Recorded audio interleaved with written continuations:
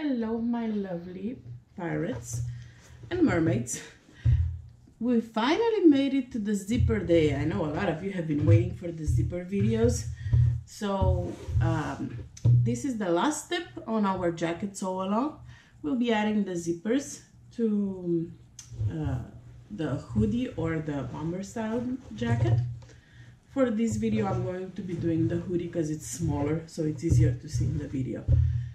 Um, I went ahead and pressed a quarter of an inch, uh, three quarters of an inch interfacing.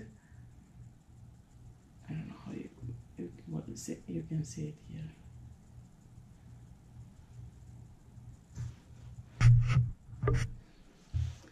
I went ahead and pressed it on the jacket, on the inside of the front of the jacket, on both sides. This will stabilize, uh, stabilize your fabric when you sew your zipper on. So don't, this step, um, lightweight interfacing should be enough. If you're using one-on-one, even better, but that, I find that to be a little bit more expensive. So that I've done those steps already that you should be doing too. I also went ahead and less glare maybe went ahead and added some interfacing to my chin guard piece and pressed it on the wrong side. So now this one is stabilized too. And now I'm going I've already put my markings from the pattern on the on the chin guard.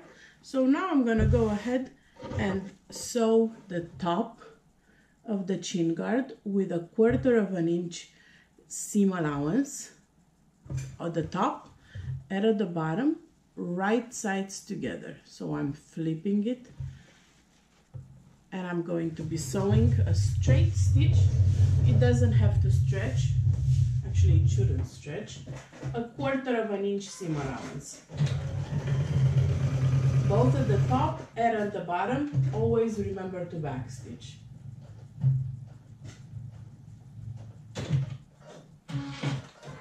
this is how we'll be creating our chin guard.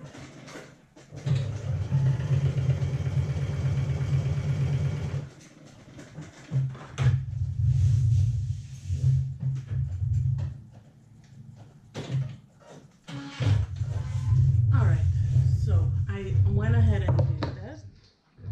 did that. So these are this is the wrong side. I'll clip my corner here to make it nice and uh, flat when you flip it. Flip your chin guard. Right sides out. Because I've already pressed it before. I did a memory press. It always nice and flat. So the chin guard is ready. And then I have my markings here. I'm gonna go ahead and fold at the marking line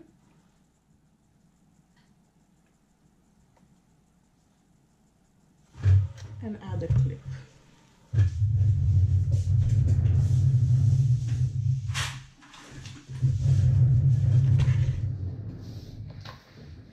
so folding at the marking line that's on the pattern you just need to transfer it.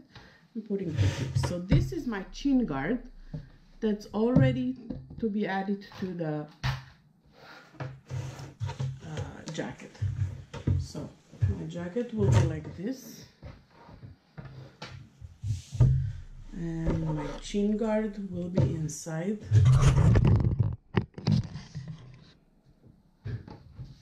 On the inside like this.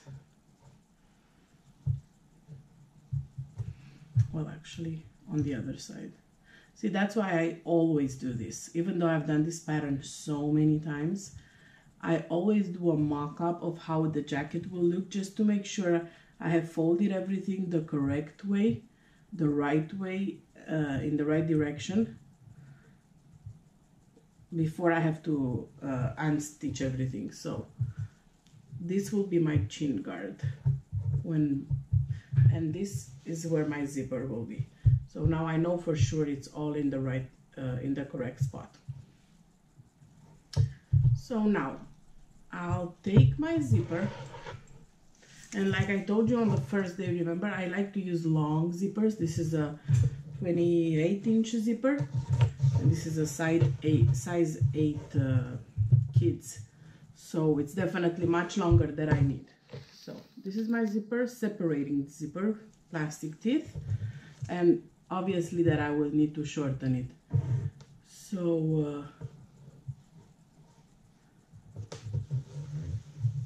this is how my zipper will open. I'm just gonna go ahead and pull and use my uh, chin guard as a um, measurement for my zipper.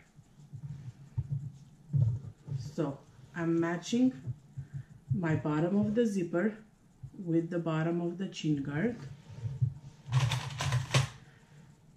and clip put a clip. My zipper right now is right side up. So my zipper teeth are right side up.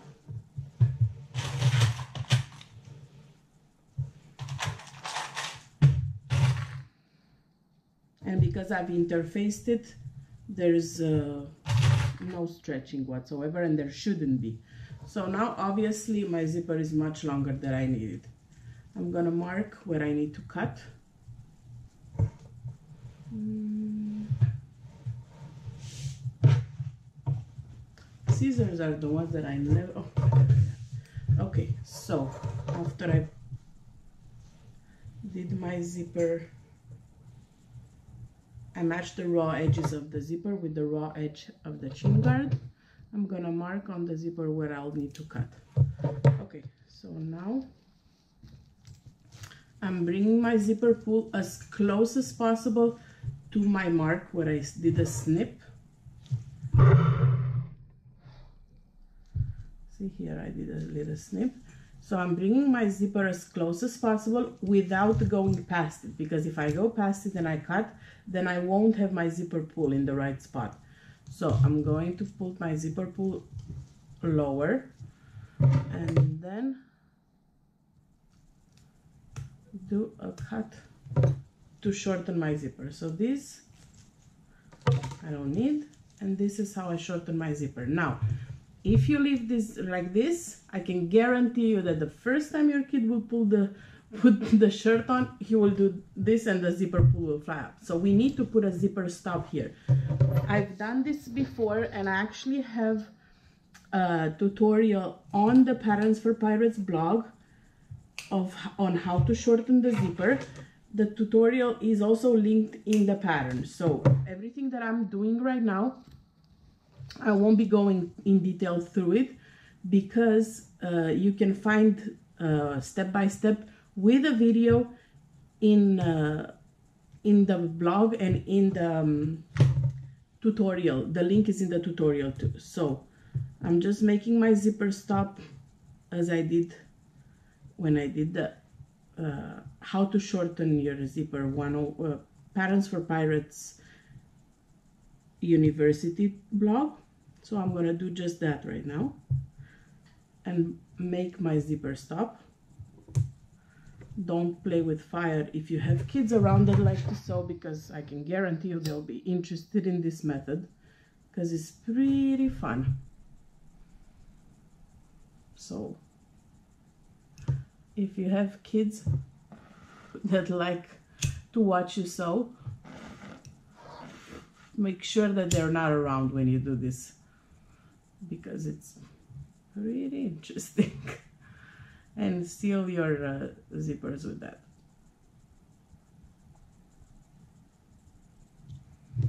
All right, my zipper stops are done. Now my zipper will not be flying off. Give it a few seconds to make sure the melted plastic is uh, cooling off. Because you don't want to touch melted plastic trust me. I know why I'm saying this. It's not fun. All right so while that's cooling off just to recap I have my zipper fold here. Zipper chin guard folded this is the folded edge, which you could optionally top stitch. I never do that. This is the short part of the fold. This is the raw edge. And this is where my zipper, okay, it's cold, good. My zipper will be. So put your zipper, and right now the zipper will end at the marking point. Fold your uh, zipper pull. Your zipper uh, tab, like the chin guard. This is on the inside. I'm folding it. Raw edges are matching and I'm putting a pin. And now that we have everything shortened and the zipper pinned in place over there I can remove one of uh, the other side. I don't need that anymore right now. This will be for the other side. So have this. And now this whole thing I'm gonna flip it on the wearer's left side in my case and matching the raw edges at the bottom. I have my zipper sandwich in between the chin guard and the waistband and the front of the hood. I'm just gonna use a couple of pins and pin it in place Nothing should be stretching. Everything should be stabilized because we've stabilized both the chin guard and the inside of your, uh, say the stabilizer right here. So I'm adding a couple of pins.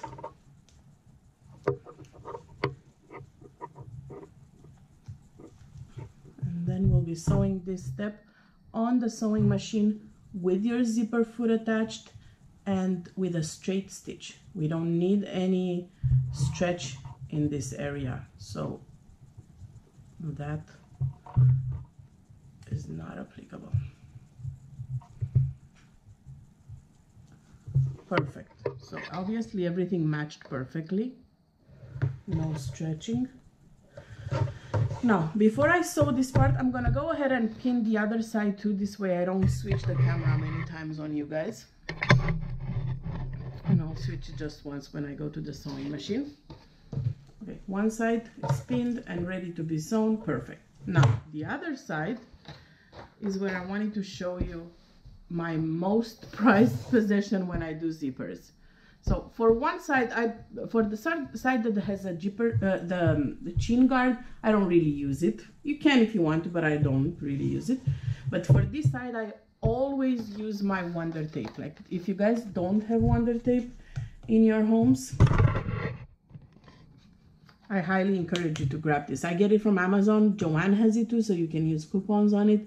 This is magic. When you're doing zippers, this is magic. Like I, I don't remember last time I did a zipper without having one of these at home. As you can see, I have them. I have a backup always, an empty, um, not a not open box.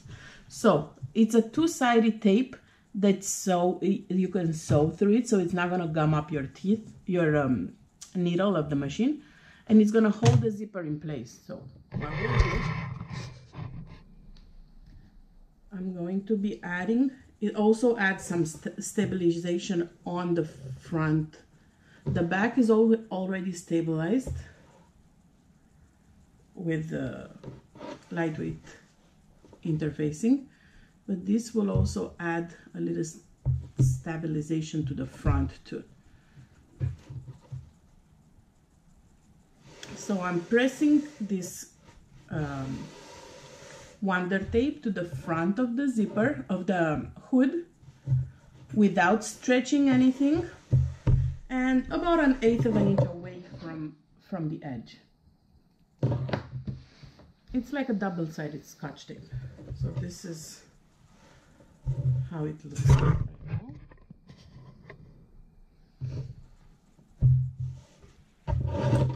One side is glued to the now the other side will be the sticky side that I'm going to be showing right now. Remove the paper on the top making sure that the sticky side stays on the hood. All right. See, once I remove the paper, now this, this is sticky. So this is what I'm gonna add my zipper to. The wrong side of the zipper, just wanna double check that I'm adding the correct side. So this is how it's going to go in. So that means this is the right side of the zipper that I'm going to be laying it on top of the right side of my the front of the jacket. Again, I'm not stretching. I'm not pulling.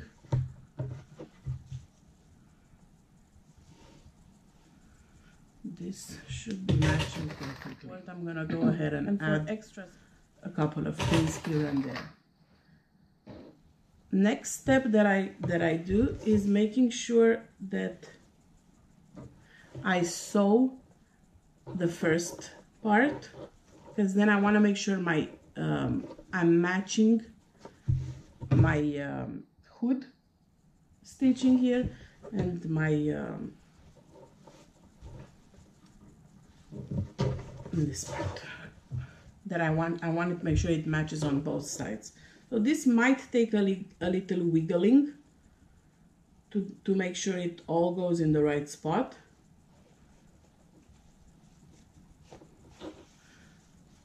but it should.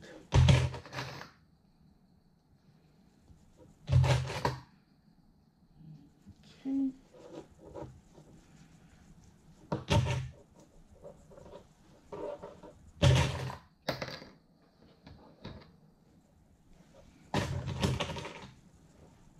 Perfect. So now I'm gonna take you guys to the sewing machine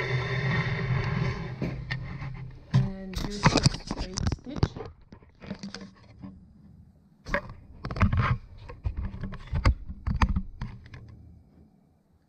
Will be and the zipper foot. I'll be sewing the zipper on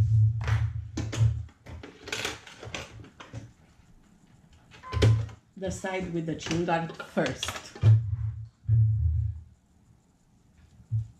pull your zipper tab away from uh,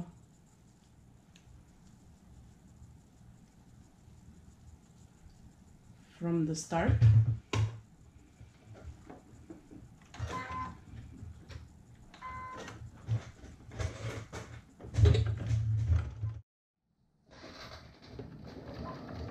go very slowly and carefully. And when you when you feel you've reached your uh, zipper pull just pull it on the back.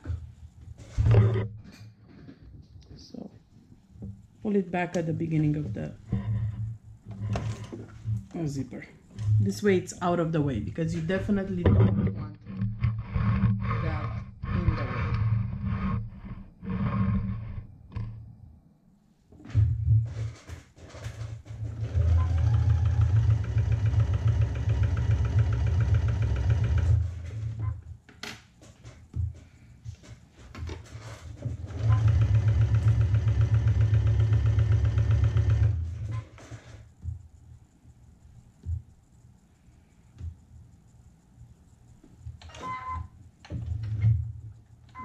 trying to make sure everything is aligned properly and the seam allowance stays consistent.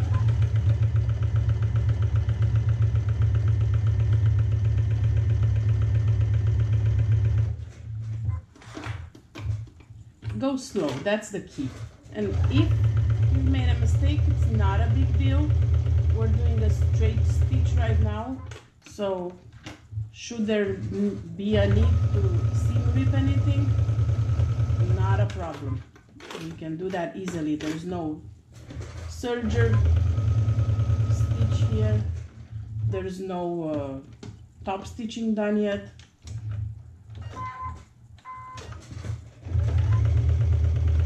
And if you want to make things easier for you, what you could do, which is not what I did, but you could use your chin guard. You, you could use woven for the chin guard. I've used knit and it stretches, so I need to make sure I don't stretch that, uh, even with lightweight interfacing. So if you want to make your life easier, you can definitely do um, woven for your chin guard. All right, so one side is done. Okay. The zipper is sandwiched in between. This is my hood, this is my zipper, this is the chin guard, this is the zipper stop. Everything looks beautiful. So what I'm gonna do right now before I sew the other side will be to make sure that everything matches. Like the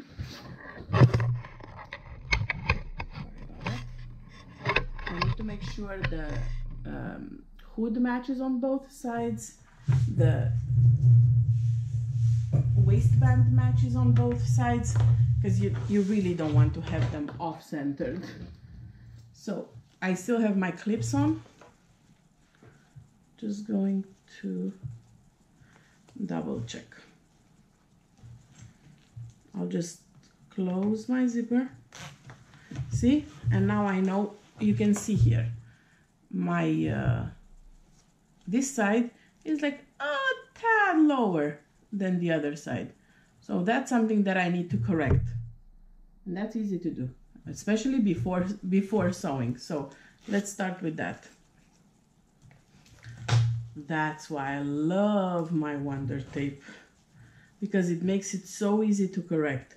What another thing you can do is mark your waistband, for example, on both sides of the zipper to make sure it matches.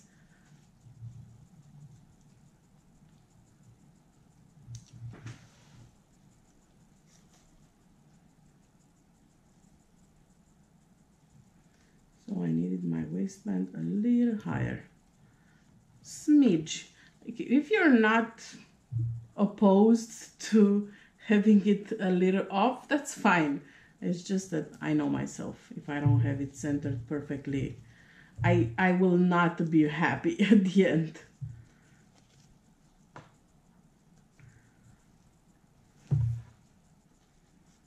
Alright, so now I have to move everything a little bit.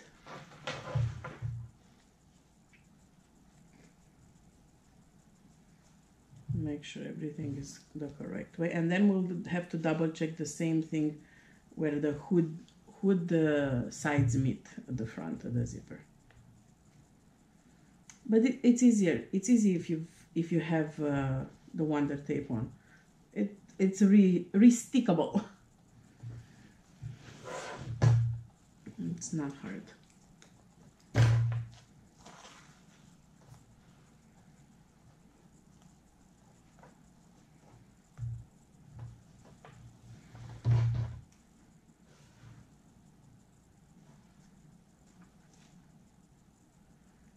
Just making sure my raw edges are aligned and everything is aligned.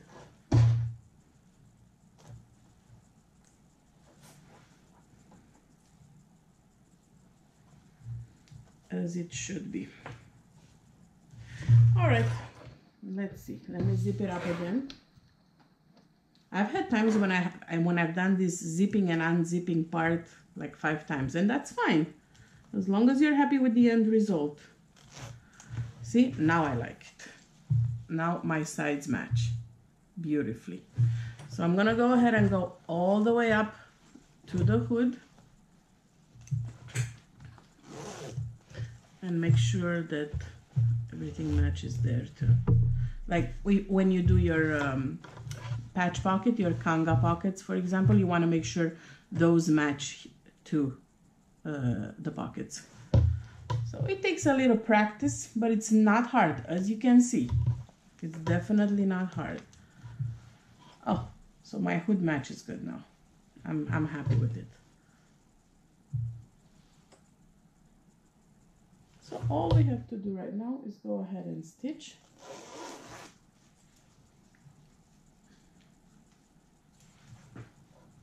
Same thing.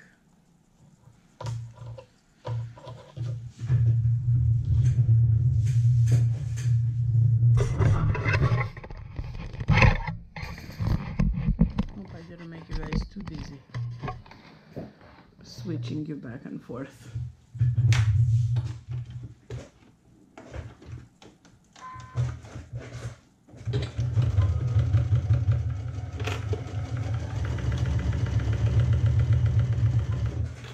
If you don't have a zipper foot, definitely get one. It is a must for this. You couldn't really do it without one. They have them super, super inexpensive on Amazon or Joann's or they're universal. So you don't need to get one that's specific for your mission.